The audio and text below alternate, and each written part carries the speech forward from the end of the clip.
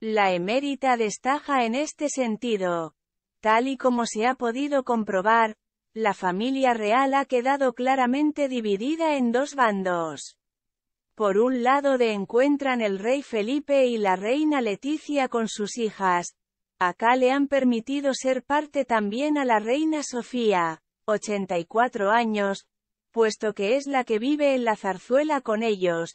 Y por el otro está el rey Juan Carlos, exiliado en Abu Dhabi, la infanta Cristina, 58 años, la infanta Elena, 59 años, y todos sus hijos. Eso sí, hay eventos familiares que los re... La última vez que estuvieron casi todos, sacando a la princesa Leonor y a la infanta Sofía, fue por un motivo bastante triste y se trató del fallecimiento de Constantino de Grecia.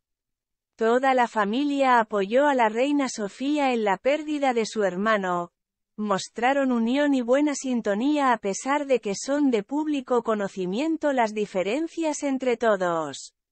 Ahora tenían una oportunidad un poco más feliz, pero el rey Felipe y la reina Leticia han declinado la invitación.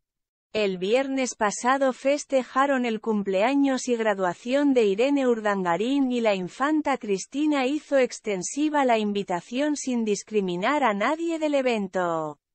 La infanta Elena asistió junto a sus hijos, pero no el rey Felipe.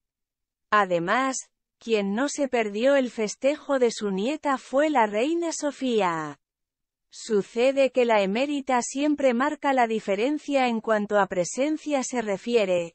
No en vano es que se ha convertido en una de las royals más queridas de Europa. Hablando de la imagen de la reina Sofía, hay que tomar en cuenta que el rey Felipe la tuvo muy difícil después de los escándalos del rey Juan Carlos que terminaron con su exilio en Abu Dhabi.